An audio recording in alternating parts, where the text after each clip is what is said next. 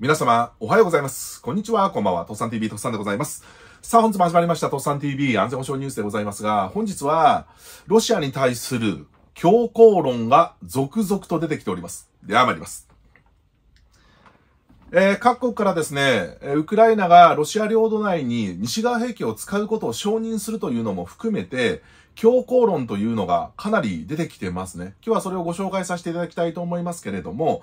今日ね、言いたいことというのは、まあ、ロシア軍というのが、え武力による恫喝、その他、脅しであったりとか、嫌がらせでしか会話ができない国なんですけれども、そういう脅しや嫌がらせはもう効かないぞということを、ロシア軍に学習させるべき時が来てるんじゃないかっていう、そういうお話でございます。えーまずはですね、ハルキウ方面の話からいきたいと思いますね。ウクレインホルムでございます。ロシアのさらなる部隊が国境沿いに集結しているということで、ゼレンスキーさんから発表がありました。ハルキウの北のスーミー州というところの国境沿いに一部隊を集結させているっていう、そういう話です。えーロシアが北部ハルキウ方面の方で、また戦線を拡大してくるんじゃないかっていう、そういう話になってますね。で、ウクライナがこれに備えてるという話なんですけども、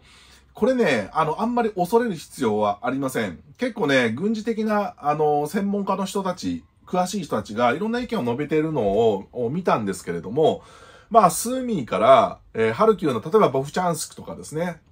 ハルキウのすぐ北のところとか、まあこういう形で押せるだけの戦力をロシアは整えられていないっていう評価がほとんど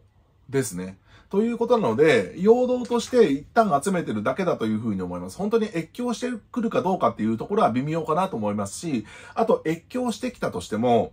えー陽動そのものはね、成功していて、ウクライナがね、ここに部隊結構集めてます。なので、撃退できるんじゃないかと思うので、あまりこれは焦らずに見た方がいいんじゃないかなと思いますね。一応成功している陽動をさらにですね、えー部隊を引きつけたい、ウクライナの部隊を引きつけたいという動きじゃないかなという気がいたします。えーさらに言うとね、あの、陽動は成功しているんだけれども、ロシアのね、損失がね、詳しい数が出てないんですけども、ものすごいことになってると思われます。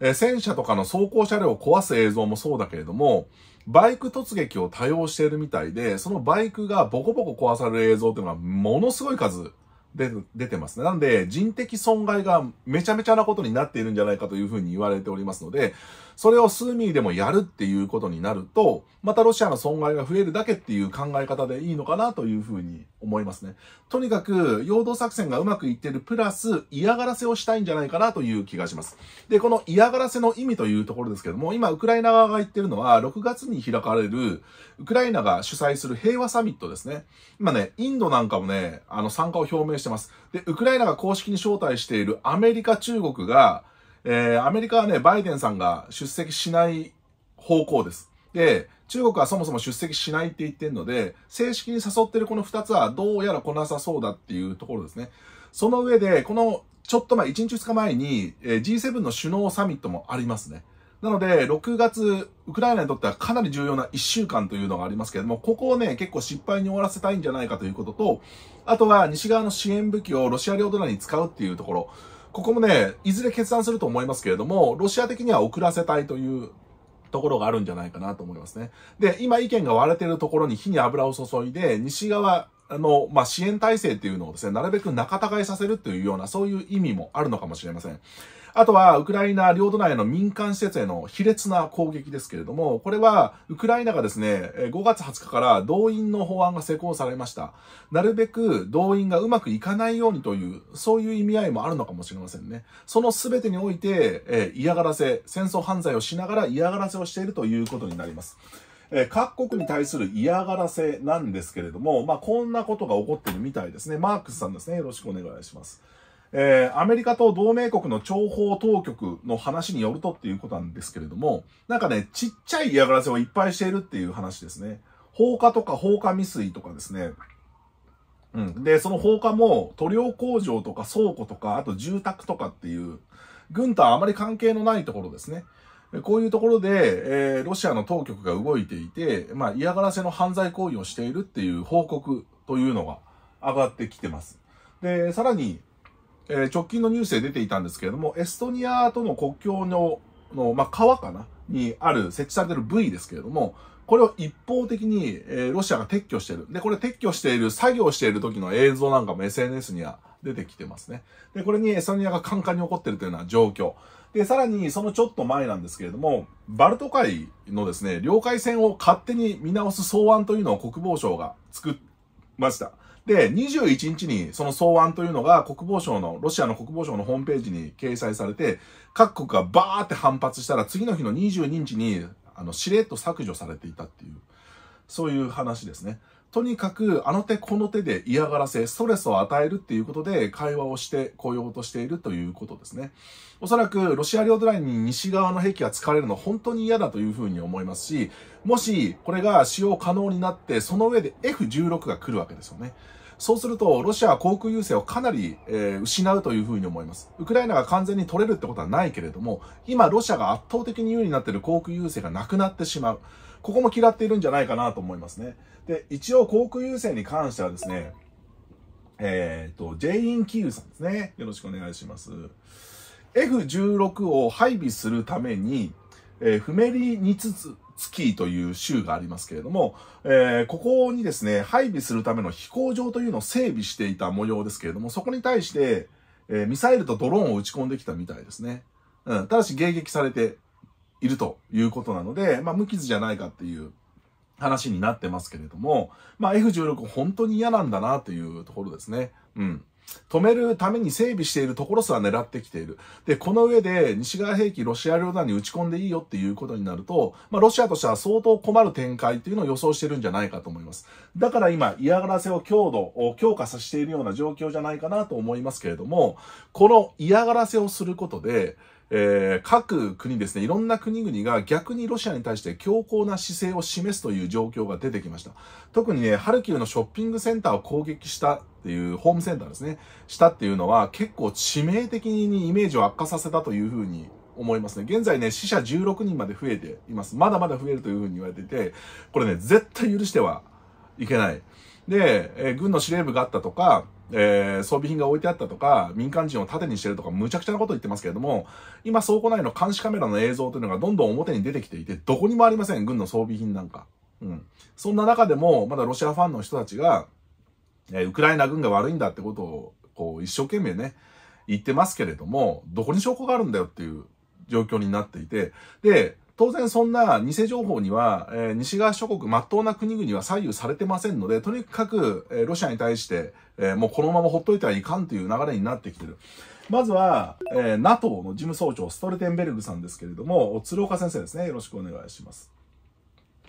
エコノミストがストルテンベルグさんにインタビューをしたところ、ロシア領土内への攻撃に関しては、この制限が解除されるべきだっていうことを言いましたね。事務総長自らこういう発言をしました。で、鶴岡さんのこのポストでいきますと、えー、おそらく名指しはしてないけれども、アメリカ批判をしたんじゃないかということで、NATO の事務総長がアメリカ批判するのは非常に珍しいという形でポストをしてくださってました。で、暗にアメリカのことを言ってるっていうのは自明の理だというふうに思いますけれども、実は、これプラスドイツのことも言ってんじゃないのっていう声が少なからず上がっていたわけです。で、こちらのポストをちょっとご覧いただきたいんですけれども、これね、ドイツの情報プラス、ドイツとは真逆でロシアに対して強硬になっている国の情報が全部まとめて載っていたので、ちょっと使わせてもらいます。まずはドイツからなんですけれども、えー、ターゲスシャウというドイツのメディア、ですね。で、報じられたところだと、やはり、ショイグさんがですね、自分たちの供与した兵器というのをロシア領土内に使うべきではないと。エスカレーションを招いてしまうので使うべきではないということで、ドイツ、ショルツさんが反対しているっていう報道がすぐに出てきましたね。なので、ストルテンベルグさんが案に言っていたのはアメリカだけではなくて、多分ね、ドイツのことも言っていたんじゃないかと思います。ところが、このアメリカとドイツ以外の国は強硬な意見に変わってきているという話。それが、上の2つになりますけれども、一番上がスウェーデンになりますね。スウェーデンのハランズポステンという、これスウェーデンのメディアになりますけれども、えっ、ー、とね、スウェーデンの国防大臣が言ってます。スウェーデンが供与した武器、他国のライセンスが入ってないものだと思いますけれども、これに関してはすでにロシア領土内への攻撃を許可したと。もうすでに許可したという、そういう報道が出てきました。スウェーデンが先んじて一歩踏み出しているっていう、そういう話が出てきています。えー、そして次がポーランドとバルト三国になりますけれども、えー、ロシアが東部で戦略的突破を達成した場合、えポーランドとバルト三国がウクライナに軍を派兵するであろうということ。これシュピーゲルが報じてきましたね。もちろん、後方支援の話だというふうに思いますけれども、どんどんですね、ウクライナの支援を強化する、ロシアに対する警戒感を強めていくっていう、そういう方向の動きっていうのが情報としては出てきているっていう話です。えー、さらにデンマークなんですけれども、デンマークのポールセン国防省ですね、国防大臣が EU にある防衛産業とウクライナを連結させるべきだっていうことを言ってきましたね。これを EU には提案しているっていう、そういう報道が出てきました。これどういうことかというと、今 EU というのは、ウクライナ支援予算というのを可決して、それをウクライナを支援するための基金に入れて、そこから支援金を送るみたいな形になってますけども、そうではなくて、もう直接、国防産業の企業とウクライナがやり取りして、もっとスピーディーにしろっていうことだと思いますね。うん。そのために予算を国防企業、防衛企業の方に予算を直接出すと。いうような形のスピード化を図れっていう、そういう話じゃないかなというふうに思いますね。というような情報も出てきているということで、ロシア軍が脅せば脅すほど、アメリカとドイツ以外は強硬になってきているというのが見て取れます。で、その上で、今、ロシア領土内への兵器っていうのをまだ承認していないところはドイツとアメリカ。しかも、ヨーロッパで一番ウクライナに対して支援している国がドイツ、そして世界で行くとアメリカということで、このワンツーが反対している状況というのが非常に懸念されるということになりますが、一応アメリカさんはこんなこと言うとりますということで、ナザレンコ・アンドリーさんです。これね、えっ、と、ポーランドの外務大臣シコルスキーさんが、まあ、言ったところっていうことなんですけれども、もしもロシアがウクライナに対して戦術核兵器を使ったら、うん、戦術でも核兵器を使ったら、ウクライナ領土内にある、ウクライナの国際的に認められた領土内にあるロシアの施設、陣地というのを全部壊滅させると。全部に弾打ち込むっていうことをアメリカは言っておりますっていうことをポーランドの外務大臣が暴露したっていう、そういう話です。で、ナザレンコ・アンドリーさんはこれぞ抑止力っていうことを言ってますけれども、しかし、これとてロシア領土内への攻撃という話ではなくて、ウクライナの領土の中にあるロシアの施設ということになるので、まあ当たり前っちゃ当たり前ですよね。ただし、アメリカが参戦する、NATO が参戦するっていう意味で、ロシアに対する脅しが効いているっていう、そういう話になります。こっからアメリカがあ考えている戦略が見えてくるっていうことなんですけれども、今ね、アメリカの中でバイデンさんに近い人で、ロシア領土内の攻撃に最も反対しているのは多分ですけれども、安全保障担当のジェイク・サリバンさんだというふうに私は考えてますね。プラス、ドイツではショルツさんが反対してる。で、ショルツさんとかアメリカホワイトハウスがなぜ反対してるのかっていう話なんですけども、ロシアにとにかく核兵器を使わせたくないんだというふうに思います。で、核兵器を使わせないという意味では、これは正しい選択肢ではあるんだけれども、ロシアに核兵器という選択肢を選ばせないために違う選択肢を残しておくっていうやり方をずっとしてますね。うん。核兵器以外の選択肢をあえて残してあげることで核兵器を選ばせないっていう戦略をしてます。ところがロシアはずっと核兵器の脅しというのを繰り広げてるわけですよね。繰り返している。えただし、本当に核での戦いになったら、え、アメリカ、フランス、イギリスいますんで、ロシアは絶対勝てないということになる。うん。当然ヨーロッパとかアメリカにも被害が出る可能性がありますけれども、ロシアは完膚なきまでに叩かれるということになります。で、独裁政権にとって一番大事なのは体制の維持になりますので、体制が崩壊してしまうということにもなりますね。つまり、ロシアが核兵器という選択肢を選択する可能性って実は低いということが言えます。その上で脅しを繰り返しているということがあるわけですね。で、あなたたちのこの嘘と脅しはもう聞きませんよっていうことを今一番言わなければいけないタイミングなんじゃないかなということです。アメリカとドイツはまだそこに踏み込んでいませんけれども、それ以外の国々というのがどんどん踏み込んできている状況ということになりますね。ロシアに残してあげている選択肢、それは空の優位であったりとか、えー、あとは、ロシア領土内の攻撃であったりとか、ロシアが優位な部分を残してあげてるので、今人が死んでいるっていうことになりますね。で、ロシアはその上でじりじり弱っていったらいつか、この戦争というのは停戦という形で、えー、テーブルで話し合うものになるんだろうというエリート的な考え方をアメリカとかドイツはしてるかもしれませんけれども、ロシアはそんな形で会話する気はないわけですね。その部分、アメリカとかドイツには目を覚ましてもらいたいなというふうに思います。えー、その上で、今ですね、今回、えウクライナに派兵する云々の火付け役になったマクロンさんですけれども、なんと24年ぶりにドイツに国賓で訪問してますね。はい。ということになります。えー、ここで多分、そういう話が行われるんじゃないかなと思いますね。ロシアに対しては、もっと強硬に行った方がいいぞっていう話がきっとなされるんじゃないかと思いますけれども、まあですね、フランスとドイツはそもそも仲が悪い。24 4年ぶりの国賓というところでもわかりますし、あとね、個人的に思うんですけども、マクロンさんとショルツさんって、反りが合わないんじゃないかっていう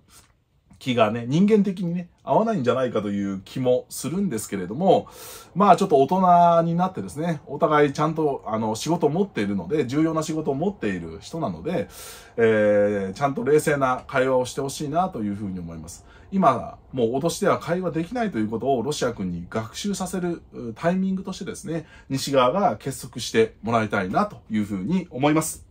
はい、というところですね、本日は、えー、対ロシア、だいぶ強硬な意見が出てきましたというところなんですけれども、肝心のアメリカとドイツが二の足を踏んでいるという状況でございます。ここが動いてくれないとどうしようもないということになるんですけれども、えー、各国が動いてさらに、えー、NATO の事務総長までは、アメリカ、そしてドイツを暗に批判するという状況まで来ました。えー、ロシア軍の脅しに関してどこまでこれが通用するかというところですけれども、F16 がとにかく来る前までに、アメリカとかドイツは決断をしてほしいなというふうに思います。というところで、本日の内容は以上でございます。ご視聴ありがとうございました。